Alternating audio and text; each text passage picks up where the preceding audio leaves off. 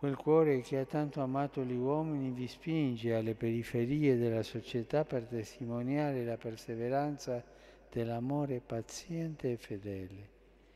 Dalla contemplazione del cuore ferito di Gesù si possa sempre rinnovare in voi la passione per gli uomini del nostro tempo, che si esprime con amore gratuito nell'impegno di solidarietà, specialmente verso i più deboli e disagiati. Così potrete continuare a promuovere la giustizia e la pace, il rispetto e la dignità di ogni persona. Testimoni di un amore senza confini, spesso anche fino al martirio.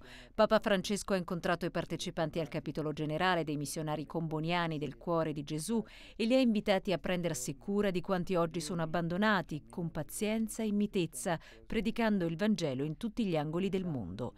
Il missionario ha rimarcato il pontefice esprimendo vivo apprezzamento per quanto fanno gli eredi di San Daniele Comboni nel mondo, si fa servitore del Dio che parla e la relazione della missione ad gentes con la parola di Dio non si colloca tanto nell'ordine del fare quanto dell'essere. Così la missione, per essere autentica, deve riferirsi e porre al centro la grazia di Cristo che scaturisce dalla croce. Credendo in Lui si può trasmettere la parola di Dio che anima, sostiene e feconda l'impegno del missionario.